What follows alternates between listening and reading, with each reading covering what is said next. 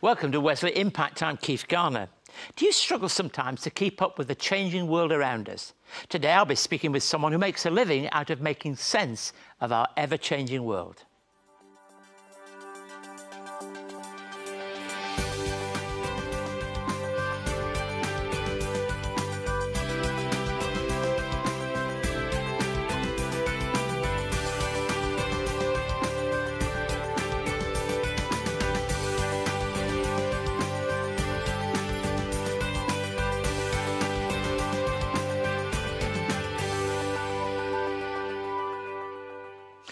Thank you for joining us. Across all areas of our work, Wesley Mission interacts with thousands of young people and teenagers every year.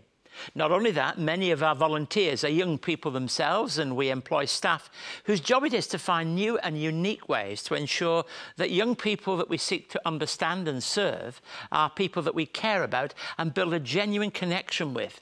We've always sought to connect with young people, and in the time I've been leading this, this area, that certainly I've, I've been conscious of the continually changing atmosphere, the rapidity of change. When I began my superintendency here at Wesley Mission, the best way to connect with the, the younger people of the day was via website and online chat rooms. Social media such as Facebook, YouTube, Snapchat, none of that existed.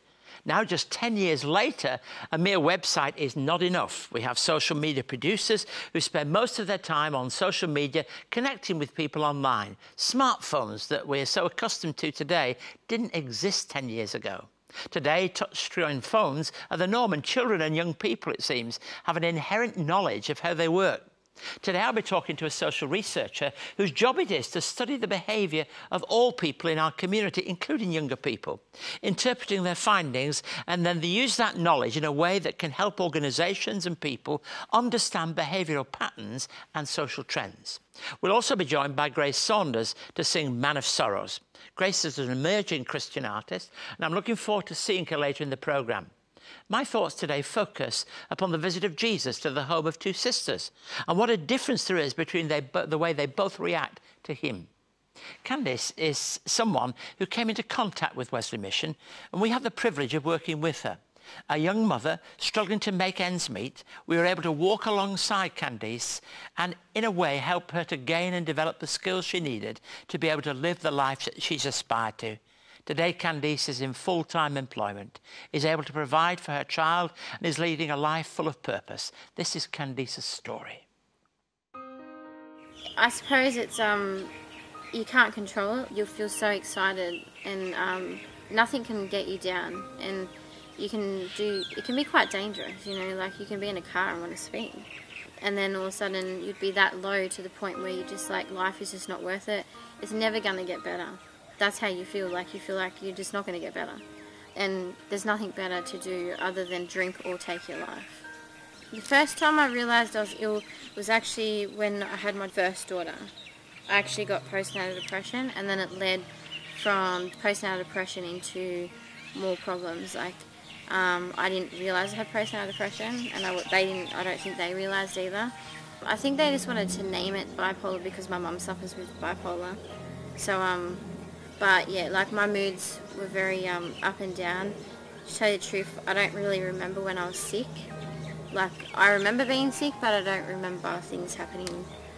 Um, like in the things went so fast, it would be like a year of depression, and then I'd become well, and it seemed like it was only like a couple of weeks of sickness. It was crazy. So when I was depressed, you know, like I would always sleep a lot, like, and I found myself thinking that my daughter could make her own breakfast in the morning. I used to have really bad suicidal thoughts, mainly because of the drinking. Wesley Mission, um, I suppose um, they came into my life because um, I felt that I couldn't manage behaviours with my children. They come into your home and you know they help you get your life back on track. They have contact with a lot of a variety of things, like um, you know, play groups to meet other parents. Um, they also can help you with um, things like um, behaviour management, courses like one, two, three. Um, you know, the steps of behaviour. Like you know, I do that a lot still now. It's quite funny. It took a lot to me to take it first, especially when they need to tell you what's going on. You know, like your house may be messy or your floors are so unclean. It's um, they tell you, they have to tell you. She come around the next week and she was so amazed. She was like, "Oh, you cleaned your room. You know, you cleaned your carpet. It smells so good." You know, and I was being intent, and I felt great. Working um, for me is a, the best step I've ever taken in my life. So I've been working at my work over at Eastern Creek Hotel for um, going on a year now, um, and it's such a good feeling um, working where I am. I feel great getting up in the morning, you know, putting on my t-shirt, putting on my shoes, putting on my name badge, and you know, it gives you that sense of um, knowing that you're worth something my goal is to um, keep my job, obviously, but I would love to be a manager. And I recently just got my certificate in hospitality, so that was a goal, and I got that. Also, I never thought I'd ever get my license, and I have. Just pick up the phone, call for help. That's what I did. Even if you feel that it's the lowest you've ever been, just pick up the phone. Wesley is always going to help. They're there for you. Mummy said it was not safe to go home. She said we would have to camp in the car. For $35 this winter, Wesley Mission can give a homeless family food, blankets and clothes. Please donate urgently at wesleymission.org.au donate. When are we going home, Mum? If you'd like to find out more about uh, that particular work, the work with those who are homeless, or if we can be of help to you, please don't hesitate to be in touch. The email address on the screen, impacttv at wesleymission.org, and the website wesleymission.org.au. Our guest today is social researcher, media commentator, TEDx speaker and business consultant on all things relating to young people, youth culture and that broader sphere. Welcome, Claire Madden, and thank you for joining us today. Thanks so much. Look, you're recognised as being uh, someone who puts a great emphasis in, uh, into that next generation. Mm. I think it's important to ask from the outset, whatever is a social researcher, yeah, a social researcher is someone who looks at the data and the social trends and analyses it to help organisations better understand people today and how to best engage. Do you think it's, it, it's, I mean, I suppose the principles have always been there, but is it more necessary today to understand those trends than perhaps in the past? Well, I think today it's unprecedented the speed, the scale and the scope of change. So being uh, aware of of the technology change, the demographic change, the generational change, because it's moving so quickly, I think it's more important than ever to be, be aware. It'd be easy to get left behind, wouldn't it, really, in that melee? Absolutely, yeah. Yeah. How do, how do, do, do Christians relate to all of this? Because I think we, we put a great emphasis in our preaching, our teaching, you know, that we believe in those things that are always the same and always true. Yeah, and absolutely. here you come along as a Christian yourself yeah. saying, you know, we've really got to be with it at the other end of the scale too. Yeah, absolutely. So as as Christians, there's the unchanging truth of the gospel, yes. and I guess the challenge um, is to communicate it in a way that's relevant to today's culture. So how do we communicate it in a way that makes sense to the people um, of today? And so taking that unchanging truth and perhaps communicating it in changed new ways to best engage. And you were yourself involved for many years in, in youth ministry, weren't yeah, you? Yeah, that's right. Yeah, a big proportion of my life in developing, investing into the next generation. Absolutely love them. They're an amazing generation. So, what are, what challenges do this emerging, we'll call them an emerging generation, have to face that are different than the past? Yeah, I think there's greater complexity today than ever before as a young person growing up. If you even think about how social media has changed their world, they're from the youngest of age now being a personal brand manager. Yeah. So they're in their teenage years trying to work out who they are but at the same time needing to project an image out there of, of who they want to be seen as and whether that be, and, and need the affirmation, need the likes. So whether it be, you know, through um, how funny they are or how good that Instagram post is or whatever it might be, I think it's, it's far greater working out who you are in times of, um, yeah, these times today. I mean, young people working out what their LinkedIn page is going to say and what their Facebook is going to yeah. present them at is, is all part of that image making, Absolutely, it? yeah. Yeah. Look, um, how can, therefore, parents and grandparents who might feel who might just feel in danger of being left behind Yeah. by this. How, how can they handle all this? Yeah, it can be a little bit overwhelming, I think, because it's not the same as how our parents' generation grew up. It's changed so dramatically.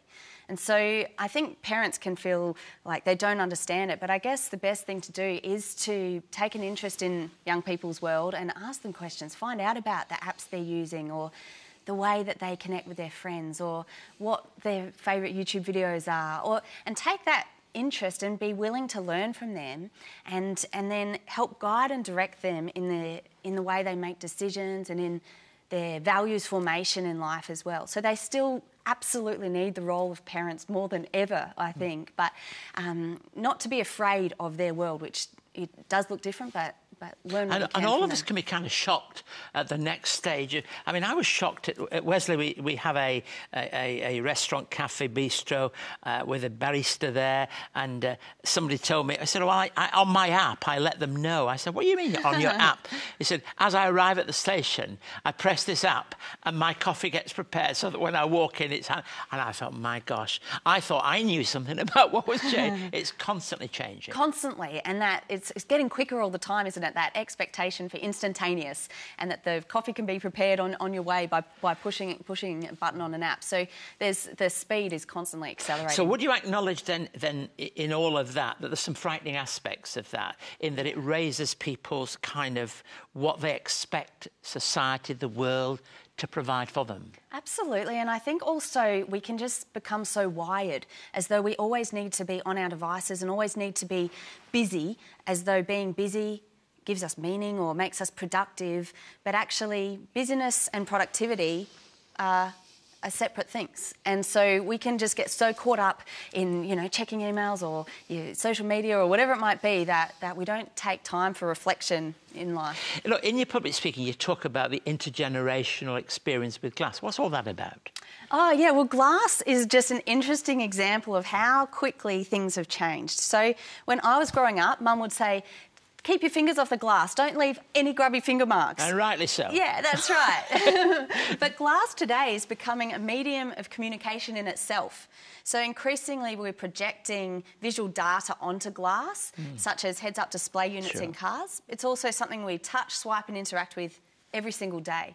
And so it just shows how, um, yeah, things that used to be windows can increasingly become screens. How does all this relate to you, just in a sentence or two, as a Christian person in the work that you do? Well, I think that it shows me that the world is moving fast and really busy, and um, people are really longing to know who they are and get affirmation in the midst of that. And so, as a Christian, I just um, know that my affirmation and my sense of identity comes from knowing who I am in Christ, and that knowing your Creator is the best place to begin, and you find your meaning and purpose from that. And then you can, um, yeah, en- enjoy the community that, that, that we have, have today. Claire, thanks for joining us and, and giving us a, a, an insight, a touch into that world that you're, you're involved in. We wish you well in, in, in the work that you are doing, and, Thank you and so I'm much. sure the welcome that you'll get into many places to share that message. Please welcome now Wesley Impact on this programme, Grace Saunders with Man of Sorrows.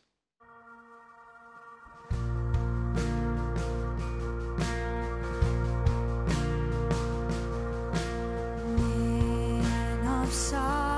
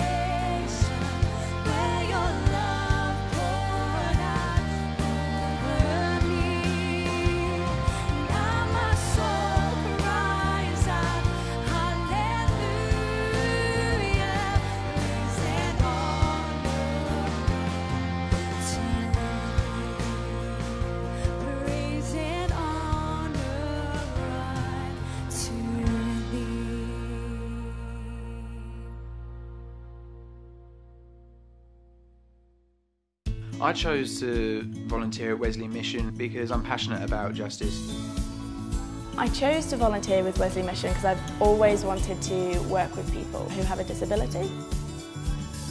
You meet friendly people. Uh, they're all people who are self-motivated and energetic. It not only gives me a purpose, keeps me active, and activity leads to longevity. Wesley Mission currently provide over 130 individual services with over 2,000 employees supported by over 3,000 volunteers to assist over 21,000 families and individuals each year. Whew, that's a lot of numbers. So, as you can imagine, we are always looking for more volunteers to help. So, please volunteer today. Visit our website wesleymission.org.au. You will not only be meeting new and interesting people, but you will be doing all the good you can because every life matters. I'm continuing looking in Luke's Gospel, and one commentator draws the link between last week's passage of the Good Samaritan and this week's account. So I'm going to read now from Luke chapter 10, 38 through to 42. Very important uh, passage, but it's a very wonderful little cameo from Luke 10, 38 to 42. As Jesus and his disciples were on their way, he came to a village where a woman named Martha opened her home to him. She had a sister called Mary who sat at the Lord's feet listening to what he said. But Martha was distracted by all the preparations that had to be made. She came to him and asked, Lord, don't you care that my sister's left me to do the work by myself? Tell her to help me. Martha, Martha, the Lord answered, you're worried and upset about many things, but few things are needed, or indeed only one. Mary has chosen what is better, and it will not be taken away from her. Now, let's compare, if we can, those two passages the parable of the Good Samaritan and the story in the home of Martha and her sister Mary. In the Good Samaritan, the hero of the story is a man of action. But here, the heroine is one who sits and listens to Jesus. And you could say that the other sister is brought down a peg or two because of her overactivity. They're very, very different kind of focus. And it's not a case of one matters more than the other, both are significant. Firstly, you, you'd need to recognize that it was a scandal that Jesus went to a single woman's home. That would not be an acceptable kind of behavior in that time. The, the, reality is that J- Jesus was well used to being considered to be scandalous in his behavior. You remember when he uh, invited himself, if you like, to, to the tax collector's home.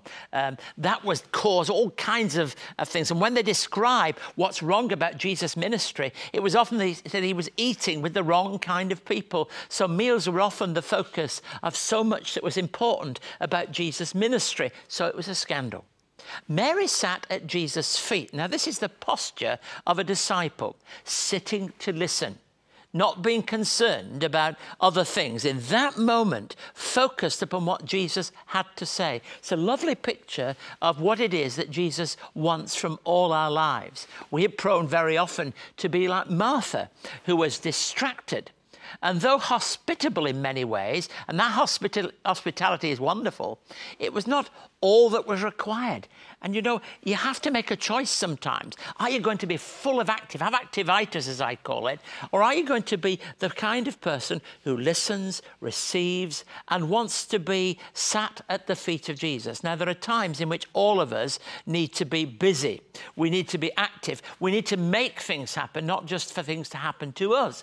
That's true but there are other times in which we must receive. This is an interesting passage when we've been talking to somebody about modern ways of communication, the kind of work patterns, the world in which we live today, which is full of rapid change and, and things happening at great speed. There are times when we still, in the midst of that world, have to sit and receive.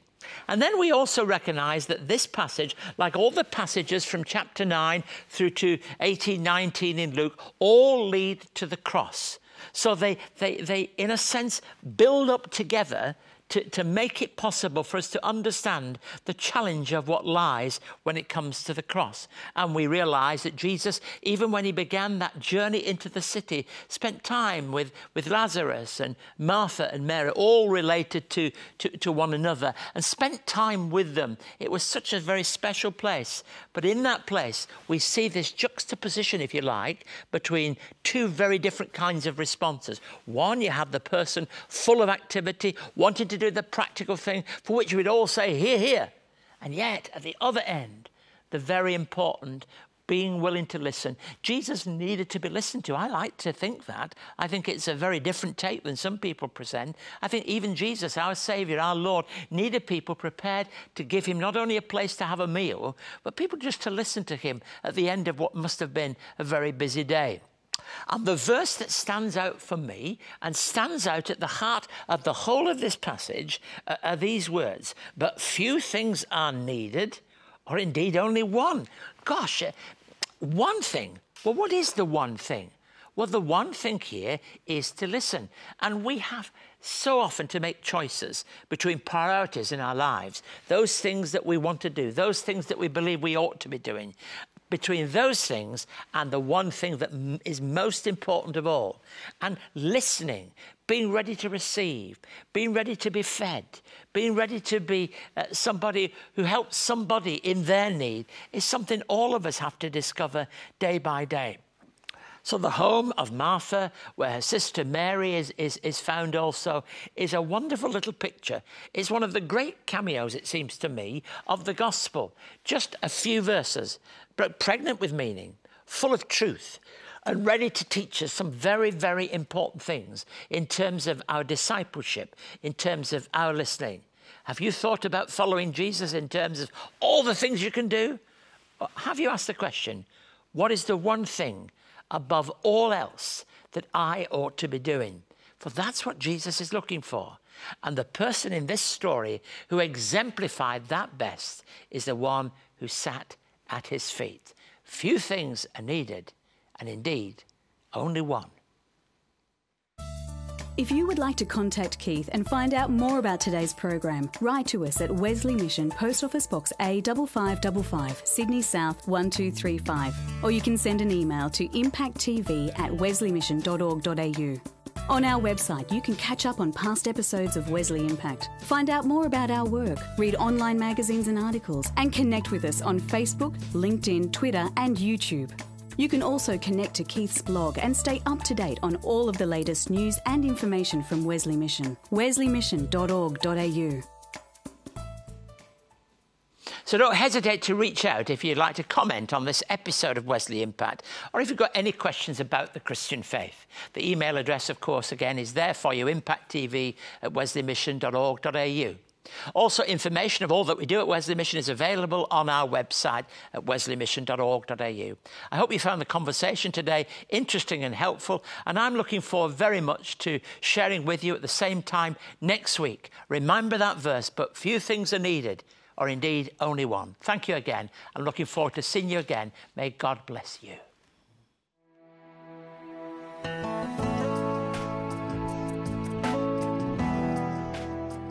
Wesley Mission provides more than 38,000 hours of out of school care each year to young people.